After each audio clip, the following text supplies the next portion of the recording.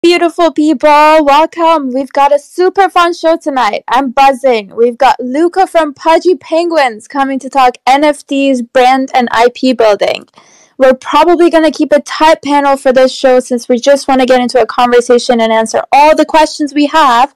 So if you have any questions for Luca about NFTs, brand building, anything, Pudgy specifically, go ahead and leave it in the comments. I'll be reading the comments and I'll make sure to bring everything up. But we made it another week. Congrats to you. Congrats to us.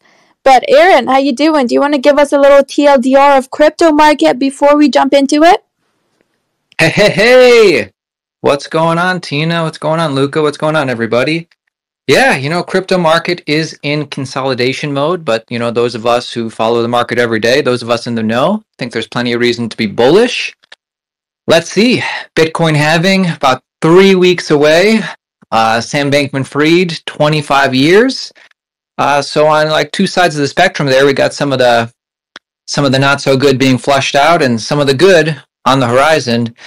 Not to mention everything that's going on in altcoin land and uh, you know the NFT space. I mean, there's so many different verticals of uh, cryptocurrency right now. Really looking forward to uh, chatting with Luca about what he thinks. Uh, much respect for what he's built, but uh, let me throw it back to you, Tina. You know, it's a tale as old as time, but when Pudgy Penguins were at like 5 ETH, Aaron and I were talking, and he was asking what I'm bullish on, and I was like, "Pudgies, I think we should get some." We we never did. We faded, and now we cry every time. but I'm gonna pass the mic to you, Luca. You can introduce yourself to the audience. Welcome to our space. Is your penguin you, and you're your penguin? Uh, my penguin is definitely me, and I'm definitely uh, my penguin. Uh, I just wanted to say thanks for having me. I don't know if you guys knew this, but I'm actually on a, a Spaces hiatus, and so kudos to you guys for getting me out of the uh, uh, getting me out of the burrow and uh, doing. I think what I, what might be my first space in probably three months. I was I was doing them quite quite frequently, and I'm kind of just trying to recharge for I think uh, a couple big sprints here over the course of the year, but uh, excited to chat and uh, talk all things uh, NFTs and crypto. Wow, honored, honored. I know when Spaces first came out, I was uh, I was never a big fan of them. I was like, why don't I just shout, shout on the side of a corner? I might reach more people. But you know, now I totally get like why Spaces are, are popular. Some you know, all it takes is one person to join, then another person joins, and uh, you know, just a good way to connect. But guess Luca, how's it going, man? Like, what are your what are your uh, thoughts on the state of the the crypto market today and like the NFT space? Yeah, it's going well. It's a beautiful night here in Miami. I'm actually outside, so I'm enjoying myself. Uh, I think the the crypto market, NFT market's an interesting one right now. I think uh, things are happening a little bit sooner uh, than I think I anticipated. But the market always kind of optimizes for what I like to reference as max pain. And I think max pain, when the market first started heating up, was people were really forecasting, you know, late 2024 uh, or middle 2024 post halving for things to really start to heat up. Uh, this is my third cycle, and so it, it's actually shaking out a little bit different, uh, a little bit more similarly to I think 2017. Uh, so kind of have to dig into the mem- memory bank and try to remember how things kind of transpired then. Um, but it's uh, it, it's an interesting market to say the least. I think one uh, that is going to yield a lot of excitement, and uh, it is going to be really interesting to see how it kind of shakes out over the next uh, you know six to twelve to eighteen months. I think on the NFT side, uh, you know, one thing that I'm working on is it's kind of a joke internally, but we're kind of working on something called Project Save NFTs. I think NFTs right now uh, are always kind of always catch their run towards the middle to later end of the cycle. The idea is is you know when you make all your amazing magic internet money, you kind of want to you know put that into some sort of status symbol or Veblen good, and NFTs typically tend to tick off that box. Um, regardless, I think if, if I were to just peel back at the greater NFT landscape, I actually thought to myself three weeks ago, we had a team stand up, and I said, you know, as a trader, there's, there's not much to be excited about in NFT land. And, and that kind of led to, you know, how do, as now leaders of the space, I think we have a responsibility to kind of lead the charge on what the next narrative and what the next meta is going to be. uh, and to really bring that excitement. I think you know prior to I think the position that now Pudgy Penguins is in, we always were catching the tailwinds of what others were doing, uh, and I think today, you know, our positioning has changed, and with great power comes great responsibility, and so we don't take that lightly. And I think our focus uh, right now is is Project Save NFTs, and how do we just bring more excitement to the greater NFT space? If I if I look at uh, at as uh, at it from a trader and a collector perspective, I look around the horizon, and there isn't isn't really anything I haven't seen already. Um, there, there isn't, you know, for me, I'm like, well, who, who's going to do something that hasn't been done before, and what is that going to look like?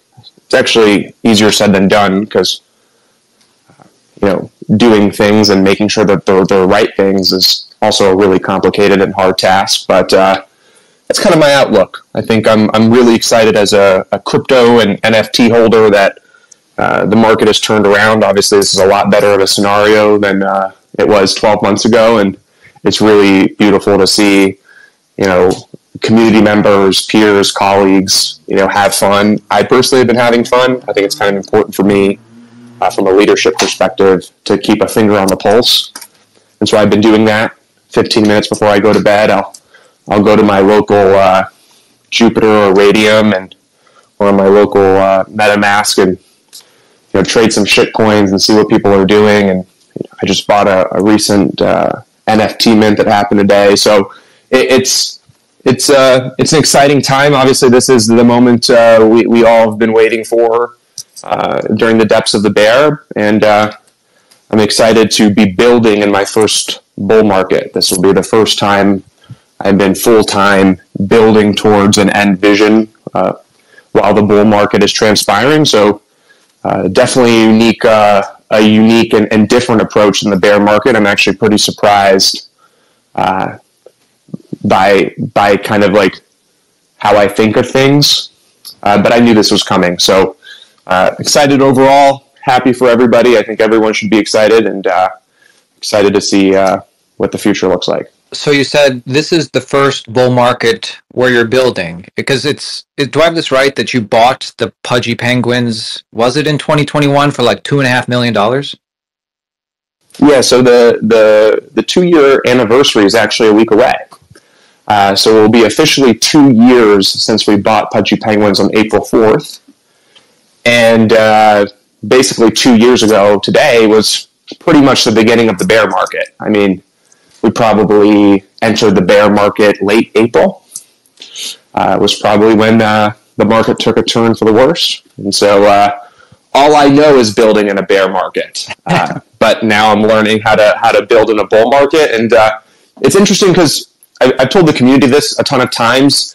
You you have to adjust uh, your strategy based on the arena in which you play, in which you fight, or in, and in which you compete. And the arena sh- shifts and differentiates with market cycles. Now, it's important you don't get confused and distracted. Uh, there's a lot of really shiny objects, I think, and, and things that you can do, uh, and decisions that I think you could make in a bull market that might not be advantageous or support the greater vision.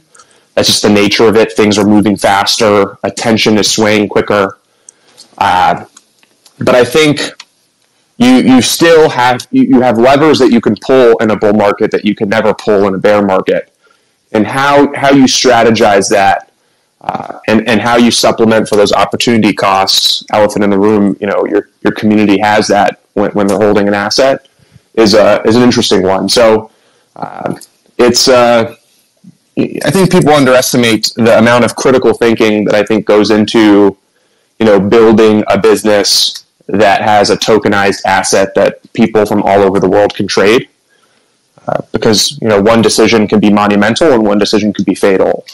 Um, and, and in a bull market, uh, also doing nothing and being stagnant and doing the same thing, I think also can be fatal. Uh, and, and it's probably the most fatal approach that I think most take. And so there's this really interesting balance um, where you have to be on top of mind, uh, keep the integrity of the company and the vision, uh, and not create liabilities. And that is very much uh, a chessboard with a lot of complexities. Uh, but if you make the right decisions, then the rewards for your community and for your company can be monumentous, and uh, you you have the ability to capture uh, a type of momentum that you can't ca- capture otherwise without these type of market conditions. So, uh, a lot of variables, a lot of thinking, a lot of strategizing. Now, I think we're kind of in execution mode, and we think we've kind of figured it out. Um, but it's uh, it's an interesting landscape to say the least. Totally, and I totally uh, relate to like building in a bear and starting in the bear. We started Altcoin Daily the very beginning of 2018, and little did we know it, it was just just the very beginning of a deep bear market. But it allowed us to get in our 10,000 hours in, and uh, you know the people who uh, you know subscribed to us and were in our community at that time, you know they stayed, and then it turned into a bull market, and we're like, oh, this is so much easier. But uh, you know, you talk about your next steps and you know reducing liabilities and tweaking the business model and i'm curious to find out what the business model is. I'm familiar with you know nfts from being a community member. I bought all the ones that people don't know about.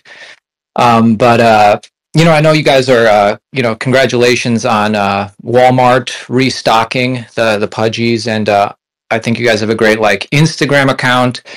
Always see those cartoons, but like, what is what is the business model? Enlighten us.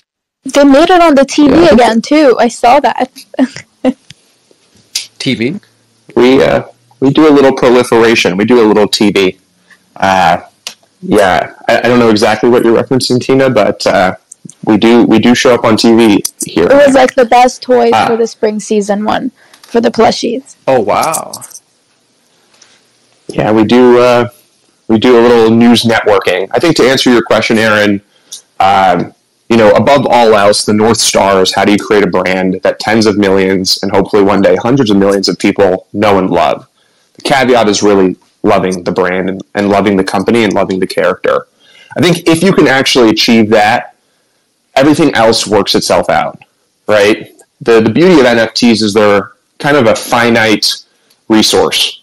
And in Pudgy Penguin's case, there's only 8,888 of them.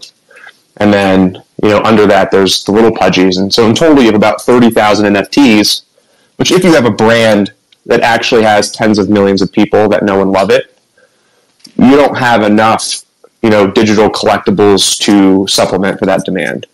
Uh, even if you kind of do the math on, you know, people's disposable income and 1% of that being in the, in the, in the bracket that can be able to afford these things, I think the, the, the math kind of shakes itself out in that respect.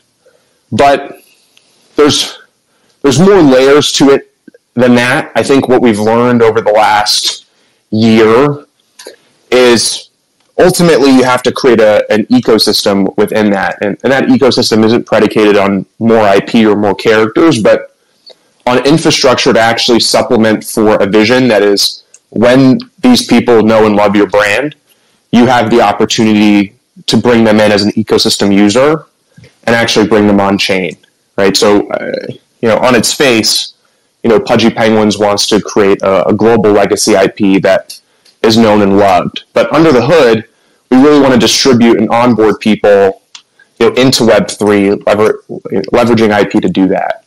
And so, I think today, and our focus really for the last two years has been you can't work on the other stuff if you don't really necessarily uh, put yourself in a position to actually achieve what is the North Star, which is creating that brand that is known and loved by tens of millions of people. But I think we've kind of created the enterprise machine where that part of the business is slowly but surely becoming autonomous and a self fulfilling prophecy.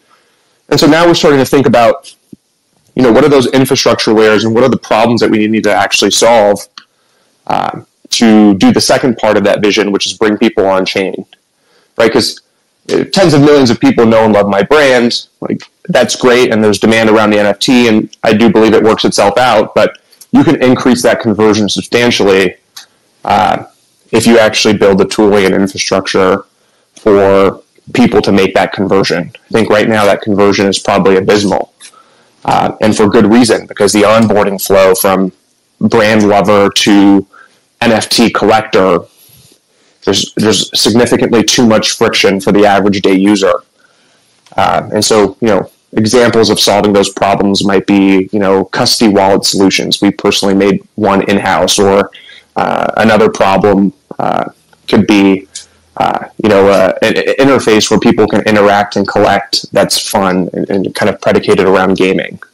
Uh, it's a it's an interesting, you know, kind of goal, but I think it's important for us to stay true to the roots, which I think at one point, probably a year, year and a half ago, I started to feel myself drift away from the crypto nativeness of, of this company. And so we kind of reeled ourselves back in probably eight, nine months ago and said, you know, the end mission here, we, we believe in our ability to create a brand that tens of millions of people know and love. That I don't think is rocket science for us. Uh, what matters is, is that conversion for people on chain so that we can uplift and grow the industry, uh, not only for Pudgy Penguins in our ecosystem, but for for the rest of the industry as well. And so, I think I think that's kind of our focus and our priorities today, and uh, going to make some big sprints in that direction here shortly. All right, uh, like I I see your brand everywhere. Like obviously I'm in crypto and crypto Twitter and I see it, but people sharing the gifts. I mean, you guys like really have like broken through in the brand. And as you were saying, it's like you got that under your belt, you know, focusing on other verticals, but level with us, Luca. It could have been any IP, right? Like really what's special about this company is you and your team. Could have been a different character. And you could have built that up. I don't think so. I, I, don't think so. I think I think people are underestimating the power of the penguin.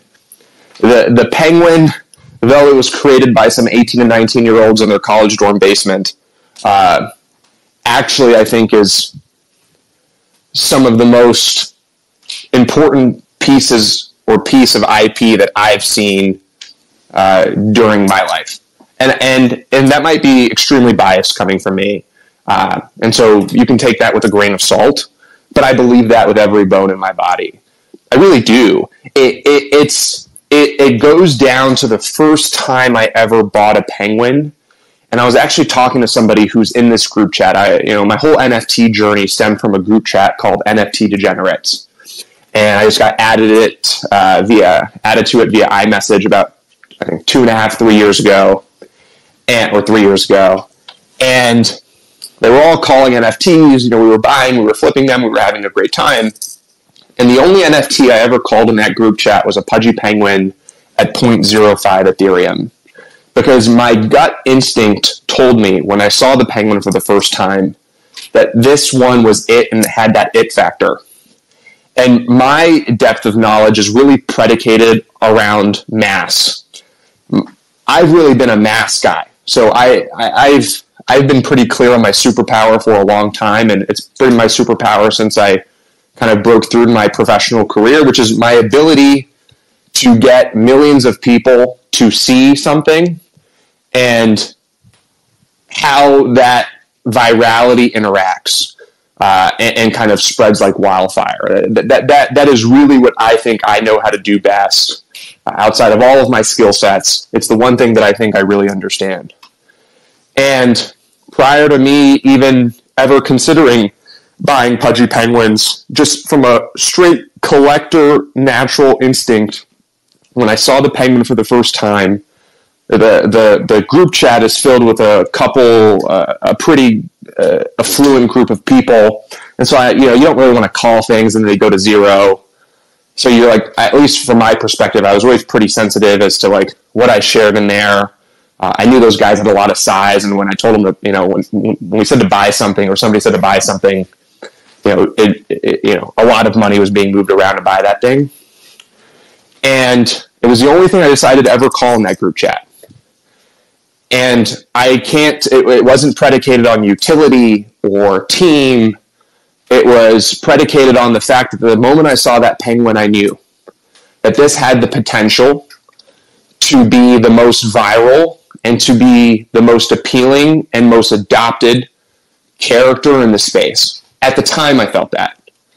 Now, when I purchased that, it was because I felt like I had the skill set to do what my initial instinct knew Pudgy Penguins could be. But that that is true to the core, so much so there's not that many people in that group chat, but one of them recently stayed at my house for a night and I said, you know, most people listen to that story and they probably think I'm full of shit. But remember when I did that? And he's like, yeah, dude, I remember I bought like 30 of those things. And I said, yeah, I know, man. It's crazy how kind of life worked out. And you can you can take two sides of the story. You can think I'm full of shit, or you can believe me. Neither matters to me, but that's the truth. Uh, you know, I, I I naturally, instinctually believed in that penguin, and some force of nature uh, bigger than myself uh, brought me on this journey with these uh, Arctic animals or South African animals, however you want to define them, uh, and, and, brought me here.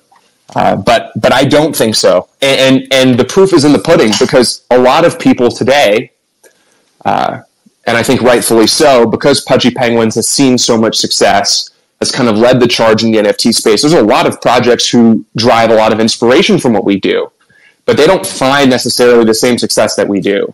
And I think that's predicated because our IP is sticking versus theirs, I don't think is sticking as much. Now, does that mean you can't do what we do and be more successful? You, you probably can, uh, or, or you probably couldn't. That's yet to be proven. I think until proven otherwise, I will believe that the power of the penguin is hugely responsible for the success that we've seen today. I have to agree. I mean, it's so cute and it's such a universally loved, you know, art. And I've always said for mass adoption, you know, we can't just keep putting the tech in front of everybody's faces. They don't care. They simply just don't care. And you guys, I've, I've always said you have to embed it within their daily lives. And you guys have done a beautiful job of doing that. I mean, like Aaron said, you have the gifts, you know, girlfriends, boyfriends are sending it to each other. Then you touched on the kids with plushies. So, like, everybody in the household kind of has an interest in Pudgy Penguins. And I think that's an amazing thing that you've done. You talk about other projects and, you know, different approaches and everything, who would you say right now is your biggest competition in the NFT space? CryptoPunks, and there is no other competition, respectfully. Oh, really? Why do you say that? I mean, like you say CryptoPunks. Why is that, and why not Bored Apes, who you recently flipped on floor price? Yeah, I, I, think I think all I think anyone building in the space is great, and I think all communities um, deserve their time to shine and they all deserve to win. And I don't say that disrespectfully. It's important that that connotation doesn't get misinterpreted. Uh, I, I genuinely believe that what NFTs to me have become is not what I initially thought they were. I initially thought NFTs were utility and value and a ton of different things that I don't believe they are today. I think today NFTs are and have to be to see long term success culture, identity, and provenance. And really, what you look at, what we're doing at Pudgy Penguins, you, you might misconstrue that and say, well, you're doing all of these things, but everything that I'm doing is to bolster those three initiatives right? When I go to Walmart and we do collaborations and you know we're trying to build the brand, I'm trying to cement Pudgy Penguins into the nostalgic nerve of everyday people so that ultimately one day it becomes a part of culture. When I'm doing gifts and we're doing Instagram and we're marketing the penguin, what I'm really doing is I'm proliferating the identity of the penguin so that eventually when tens of millions of people know and love it, those that wear it as, as, as the PFP wear it as a status symbol amongst this community of 10, 20, 30, 40 million people, right? Like, what is a status symbol to 100,000 people, right? A, a Veblen good that is, you know, an, an expensive profile picture to 100,000 people versus 40 million people.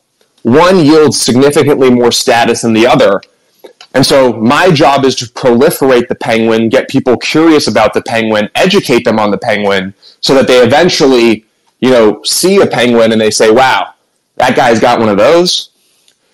And ultimately, provenance, right? And I think all of the, the culture and proliferation ultimately bolster the provenance. And so it's really important to me that Pudgy Penguins leads the charge on you know executing on a lot of these initiatives and breaking barriers and pushing boundaries because ultimately I think it builds and accrues value to the provenance of the NFT.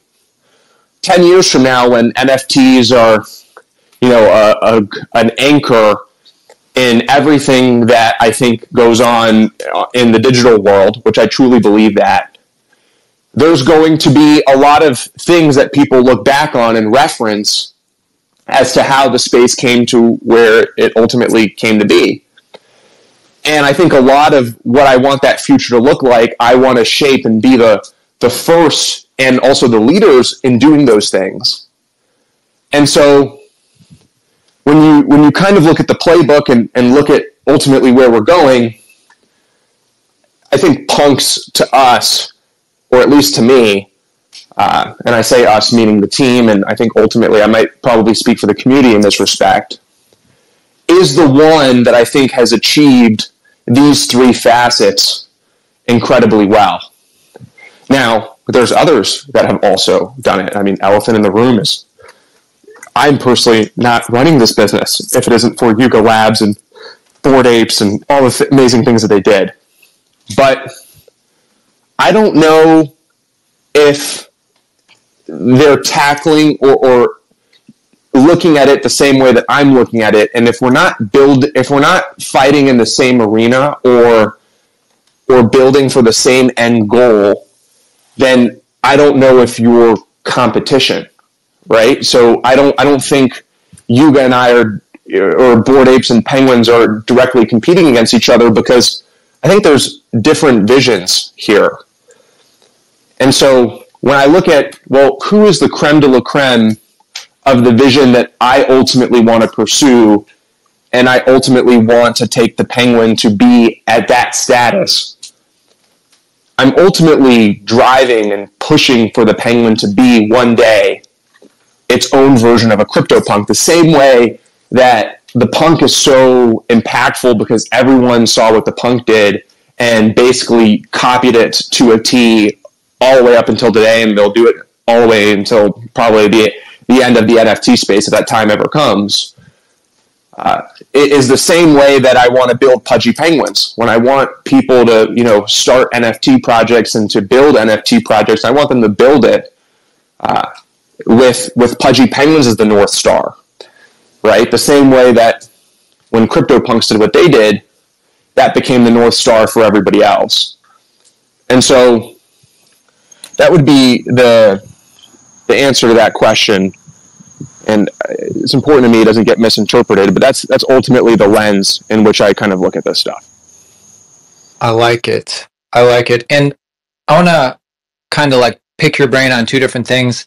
One, practically speaking, what rights, I don't know if that's the right word, but what rights do like holders have? Like, you know, the Bored Apes famously you uh, you know got the IP for that specific ape, and you could like put that on different things and sell them. Practically speaking, what rights? And also, it's a little bit even like a different question. I've I've heard that you're not going to release like a, a second collection, like the like the Bored Apes have the mutants and the pets and everything. Any purely business oriented person on your team would tell you, "Hey, it's hot right now. The market's up. People want that second collection. Why not do it?" Yeah, so to answer your question, at least the second one first, is just because you can doesn't mean you should. And I think that's been something that's plagued the NFT space for a while. And it just comes down to the to the model that I will stick by, which is supply and demand. Now, it's important to note that a mint can be a huge net positive to an NFT project. I would argue Mutant Apes were a huge net positive to Yuga Labs ecosystem huge. I think it's one of the only exceptions where they actually timed supply and demand correctly because there was clearly overflowing demand for Bored Apes and you know at that point the price had become unattainable for most and so they opened up the ecosystem and expanded the community with mutants you know, the truth of the matter is, is yeah, we could probably make a ton of money from a business perspective minting pudgy bears, but at what expense? At the expense of the people who believed in us up until this point? Is our ambitions really to just make 30, 40, 50 million dollars? Say never? I mean, why sure. say never? Like, as you said, sometimes it can work out. And, and, I, and, I, and, I, and, and there probably will be a day where that comes, but the, the overflowing demand needs to be present that is the caveat. There needs to be overflowing demand to yield a liquidity event. And my thesis is, is 10 years from now, you won't be able to incubate IP fast enough based on the demand that will, that will be here. So the question that we tell ourselves, at least internally at the company, is like, which game are we playing? Are we playing the short-term game or are we playing the long-term game? Because if I'm playing the long-term game, my objective is to win and to be the number one NFT project in the world for as long as I can, and to lead by example and to push boundaries and to break barriers. And once we do that, and if we can do that for an extended period of time, the making IP and th- there will be a moment where overflowing demand will be evergreen. It will be it will be consistently present.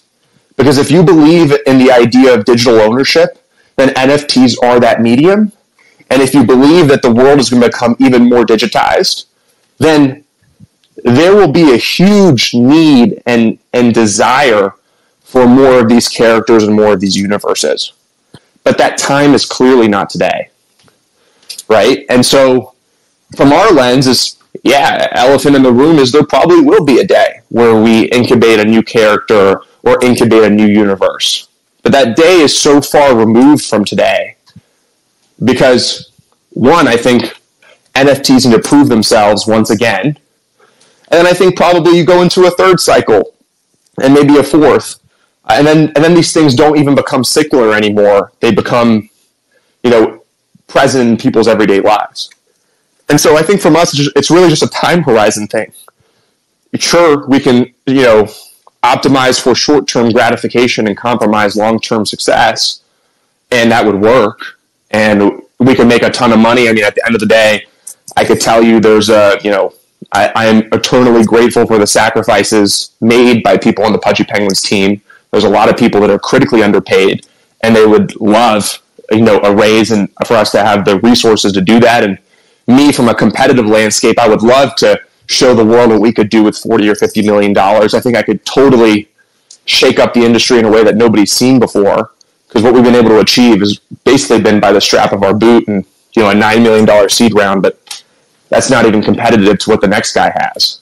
So I would I, I personally would love that, but I know that the math ultimately won't shake out the way that I want it to, and it ultimately today will, will hurt the business more than it will help it, and ultimately hurt the community more than it will help it.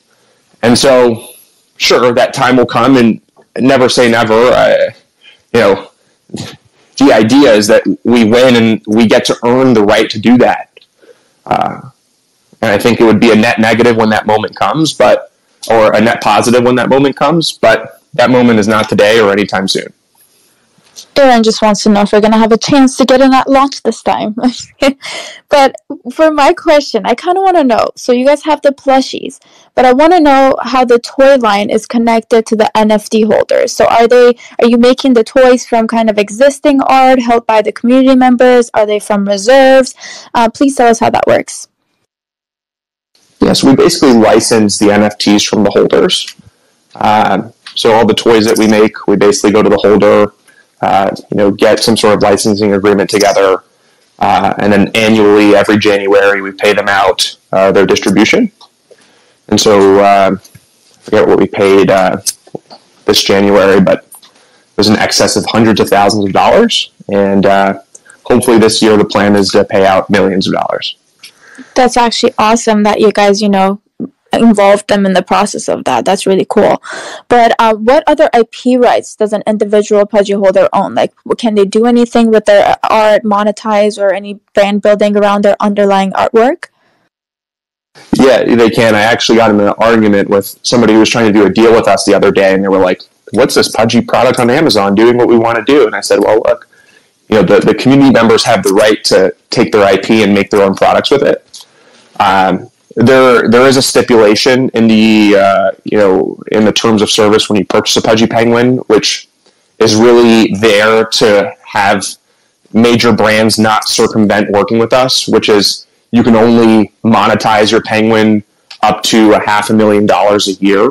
But I told the community this, and my stance on this is pretty open, which is, you know, if you want to make more money on your penguin than that, then we will easily extend the license uh, and let you do that. That provision is really there so that if I work with a major toy company, you know, last thing I want is, uh, you know, a toy partner to buy a bunch of pudgy penguins, remove us from the equation, and just start selling toys, right? At the end of the day, you know, a half a million dollar stipulation is not enough for them, you know, to go and try to circumvent us. You know, molding and all the initial costs to kind of stand that up would kind of, you know, cut the legs from underneath them. And so that's kind of how our how our IP uh, agreement is structured. Yeah, because I was thinking, you know, you're working with big institutions. Like, are you ever worried that you know somebody's going to do something with the art that's going to hurt kind of the image or the business model? Um, but I guess I want to know what do you think about Bitcoin NFTs? Have you ever thought about releasing an ordinal collection? They're doing pretty hot this se- season, so we want to know. Yeah, I actually believe in, in ordinals. I believe in the long, you know, the, the thesis is pretty apparent. You know, being able to collect, you know, things on uh, the, the, the ordinals maxis call it the mother chain. I think it's pretty funny. I, I believe in it. Uh, I think it's going to work out. I think at the end of the day, uh, the medium for trading on Ethereum to me is still better. Um, obviously, there's you know some mechanics in place that would make others argue the contrary. I think what that future really looks like over the next 12 to 18 months is really going to show us you know what is going to stand the test of time versus what isn't and so i actually firmly believe that some of these mechanics that are in place on ethereum that most claim you know hurts the nft and in, in times of turmoil and times of distress uh, it's it's easy to think that and i'm guilty of it sometimes i've also thought that as of recently there was a you know an ethereum uh, loan contagion. I was like, wow, here we go. Another variable we can't control, you know, affecting our progress. But there's another argument, which I'm actually really excited to see, which is a lot of these mechanics are going to bolster the the growth of these things in a way that we've never seen before. And Aaron, you might appreciate this as somebody who's been around for quite a while. You know, I think kind of what's happening is very akin to what we saw with 2017 coins. I kind of repeat this little anecdote like a like a parrot, but I think I'm going to be I'm really interested to see if it shakes out the way that I think it will. Which was, if, if those of you guys are not familiar with what happened in 2017, you had you know a top 10 or 15 of the coins. You were bullish on all of them. All of them were going to Valhalla. You were stoked. You know, you try to diversify in as many of them as you could. Uh, and then, you know, came the, the bear market and of the 15, you know, three or four remained, or I think four or five remained in the top 10, and the rest kind of withered into nothingness. And then when DeFi Summer came around, it unlocked a lot of mechanisms that current, weren't currently present. And so, another anecdote, while I give the main anecdote, was I recently went to dinner with a guy who had seen huge success in crypto. He, he actually ran one of the biggest protocols of all time and he said the whole world runs on leverage. And I was like, that's really interesting. He's like, he was explaining to me why the, the ETF unlock was so big and how people could basically take their $100 billion portfolios, even if all that money was tied up, take a loan out on that portfolio you know, via margin, and then, you know, can park that money into the ETF. The, the way that traditional finance works, there's so many trillions of dollars sloshing around the U.S. markets uh, that, it, that it's a huge unlock. And we saw that with crypto during DeFi summer, what did DeFi summer really accomplish? It unlocked a huge set of capital because you know leverage and loans weren't really present in the first cycle. And so what kind of has happened with NFTs is I think NFTs in 2021 had their 2017 moment. You had you know 10 to 15 projects that you thought were going to win the race. They were completely capitalized. They had everything going for them. They basically owned the top charts. Uh, you know, had amazing builders and entrepreneurs building some of these businesses. And over the last two years, you've kind of seen a lot of them wither into nothingness. And what we've seen on the background, at least from an infrastructure side, is we've seen a ton of developments on being able to unlock, uh, you know, more liquidity for these NFTs. So better loan mechanics, call options, actually being able to leverage trade them in a positive way. And when the when the tides are against you, the unwinds and the and the pressure make it feel like these mechanics suck. But when the tide turns the other way, these mechanics actually can take you to heights that you don't even think these things can go. And I really believe there will be a couple ETH or PFPs in general that will surpass, you know, 2021's PFP height. And I, and I believe that because of these unlocks and the access to liquidity but it works both ways. So when the tide is against you, like I think it is, you know, now and it has been for what feels like the last two years, you don't see that, right? But I think the second the tide flips in the direction that we want it to flip, it's going to be interesting to see what these mechanics can actually do. Uh, and and that's currently where I think the, the stage we are in the market, and I think we're on the precipice of NFTs having their DeFi summer moment. Now, when that time will come, I don't know, uh, but I think it will come at some point during this cycle. And I think the growth that you will see will be explosive and like nothing you've ever seen before. I love it, and I I totally uh, relate to what you're saying with 2017. You know, you ask somebody back then what's going to be the top project. Maybe they would have said, "Oh, Bitcoin," and then EOS, because EOS is going to flip Ethereum, and then you know you just had the things had to shake out, and you had to see you know which which projects uh, rose to the occasion. Uh, we have about 13 minutes left, Tina, and so let's get our final. The questions we're chomping at the bit to, to talk about, but uh, I guess you know, you mentioned kind of what you're doing going forward at the beginning, but give us, well, you briefly, you know, remind the community we've done this, this, and this. This is how we're, uh, you know, making it happen. But like the real question is, what comes next? Is it to be bigger and better? We're killing it. We're, you know, a top project. We're just going to get bigger and better, or is it totally different things you're working on? I think obviously bigger and better. You know, is the goal. Uh, I mean, you know, we have a, a, a, robust strategy as to how we got here, and the plan is is to double down on that strategy and to excel. But you know, like I kind of referenced, uh, you know, earlier in this conversation, when when I sat there and I was critical of the entire market, I was also just as critical about our positioning and where we were. And I knew this coming at the end of the year. I, I told the community, look, what we did last year can't be what we did this year.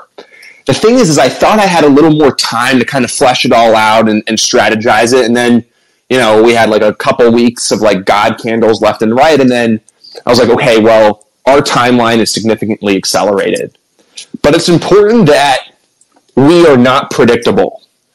It's easy today, if I were to put myself in a holder's position, it's like, okay, more toys, more expansion, more partnerships, more billions of views. All of these things are amazing. But where are the variables and what are the things that are going to get me to be like, what the?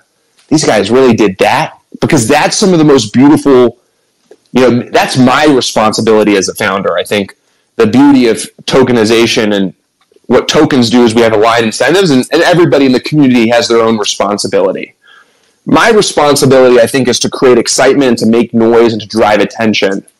But I I don't want to be the one trick brand pony. And though there's a lot of tricks that encompass the brand sphere, it's important that we keep things exciting and we remain unpredictable.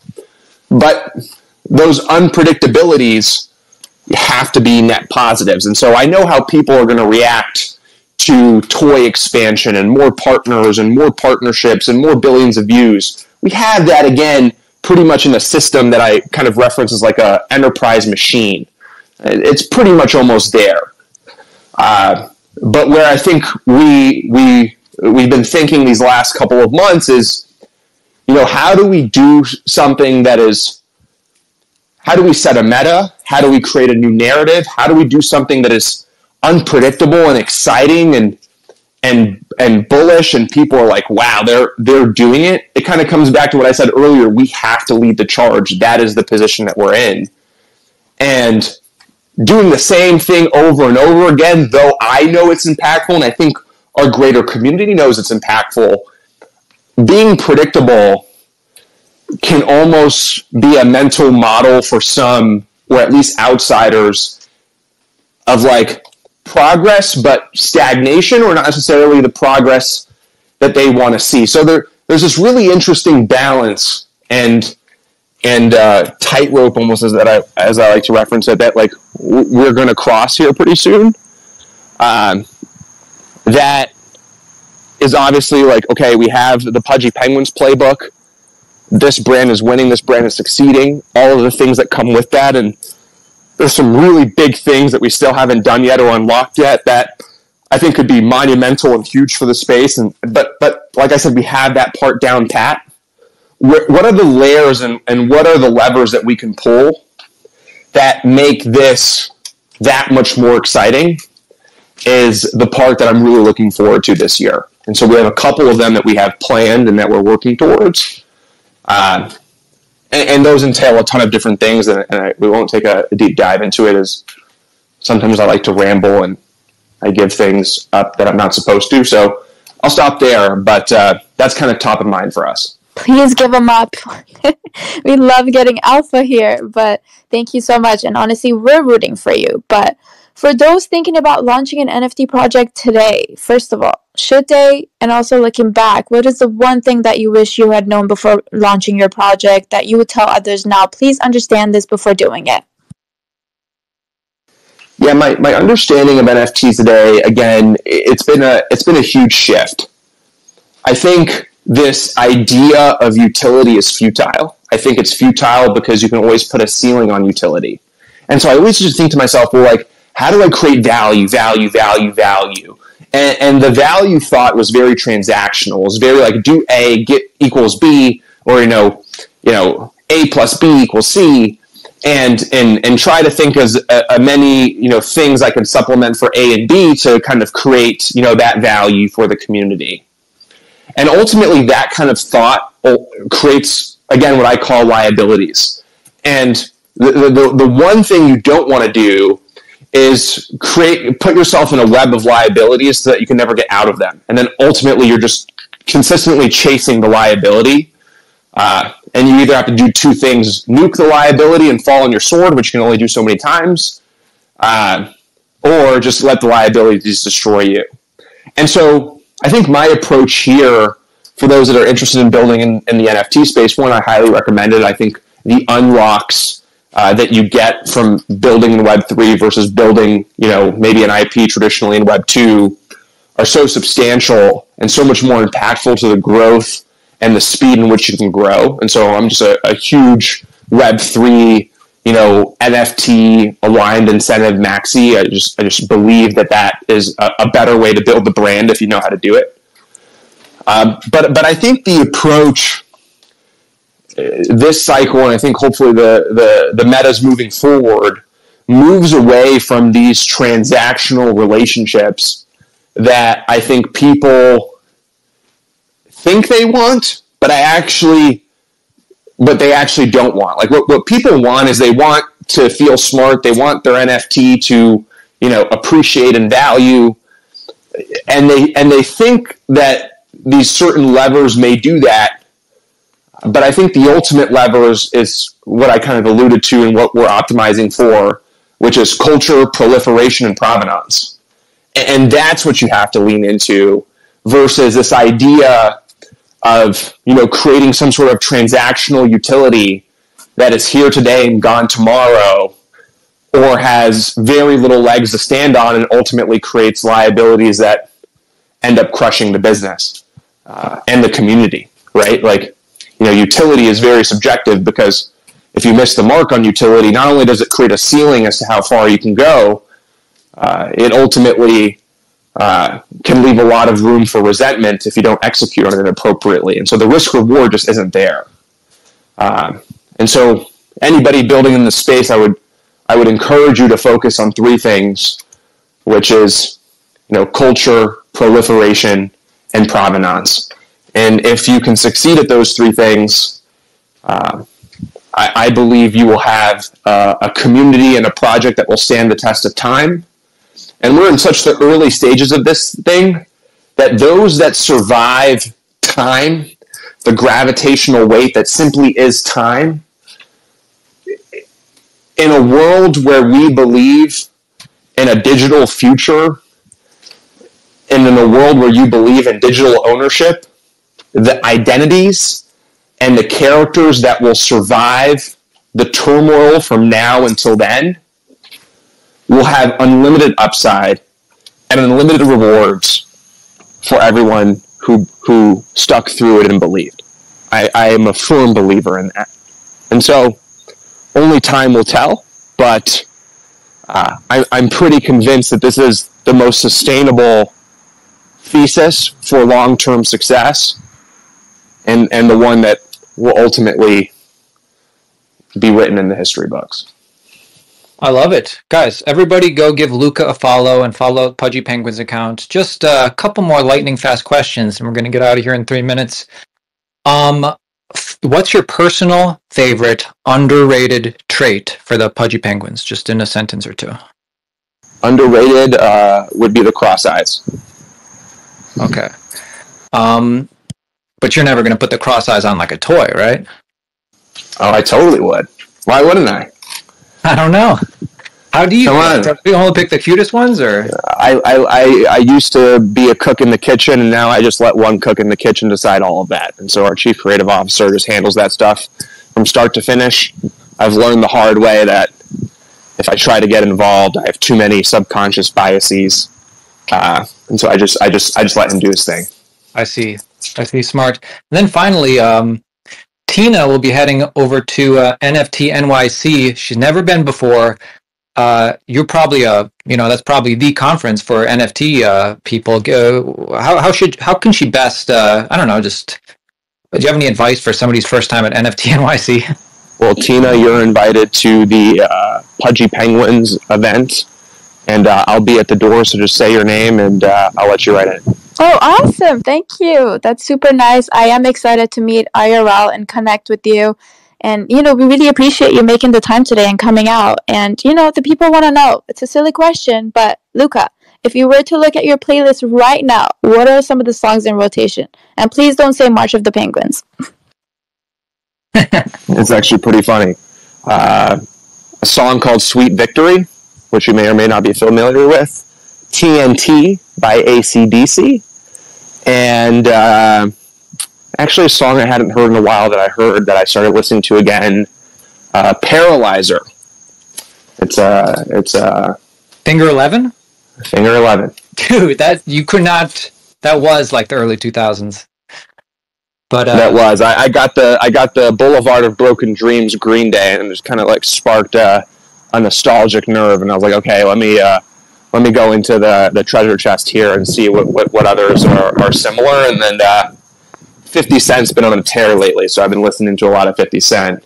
Uh, just because he's been a, a great uh, entertainer on Instagram during the whole uh, Diddy crisis. So, for sure, for sure. And I recently had uh, Paralyzer Finger Eleven on my playlist, like just like a month or two ago. So that's crazy. And yeah, uh, but anyways, man, thank you so much for coming on. Much respect for uh, what you're building. Uh, thank you for uh, you know enlightening our community and you know sharing your alpha. Um, that's it, man. Uh, final thoughts for the uh, altcoin daily and Twitter community. Well, my, my final thought is I'll be ending the Spaces hiatus pretty soon. I've got a little bit of a world tour that I'm going on, and then after that, we're going to start making some some pretty meaningful noise in the space. And so I'll be back in the spaces circuit pretty soon. I know a lot of uh, community members outside of Inner Igloos haven't really seen me around. It's for good reason. Sometimes you just have to get in the war room and and prepare for a big moment. So Project Save NFTs is coming here pretty soon. Let's see. Uh, let's see if we can pull it off. I love it, guys. Go give Luca a follow. Go check out Pudgy Penguins. Thank you everybody for attending. Um, guys, stay bullish.